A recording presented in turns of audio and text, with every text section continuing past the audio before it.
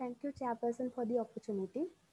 Prevalence and the influence of occupational diseases on the mental health and work life of healthcare workers in the professorial unit teaching hospital Anuradhapura. Occupational health hazards are the risks or dangers an individual is exposed to at their workplace. Every healthcare worker is at risk of multitude of hazards during their work hours, and these can potentially lead to the development of occupational diseases. Our objective was to determine the most common occupational diseases among the healthcare workers and the influence of these diseases on the mental health and work life of healthcare workers. So we developed a self-administered questionnaire as the study tool and we pre-tested it and validated it. It was given in the native language of the participant. It consisted of closed-ended questions and Likert scales. It was distributed among all the healthcare workers of the five disciplinaries of Professorial Unit Teaching Hospital Anuradhapura. 201 participants consisted of 16 doctors, 106 nurses, 57 attendants, and 18 cleaning staff members. The prevalence of occupational diseases was 36.3%. At least 73 of the 201 participants have developed at least one of the occupational diseases we had mentioned in the list of the diseases.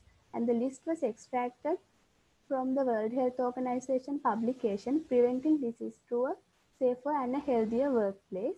It consisted of medical, surgical, and psychosocial diseases.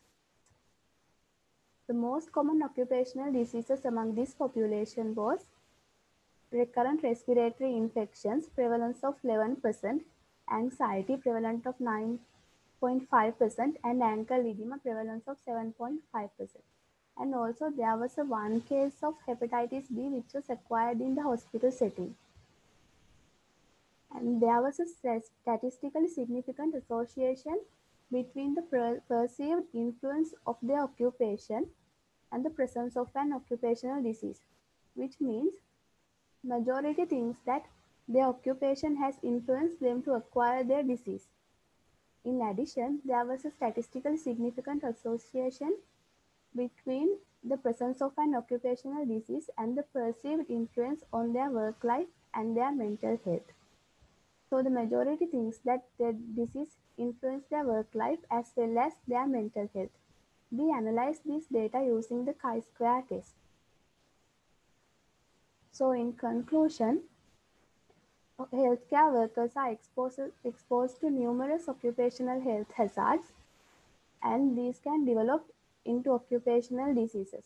These diseases affect the mental health as well as the work life of the healthcare workers and ultimately the healthcare system of a country.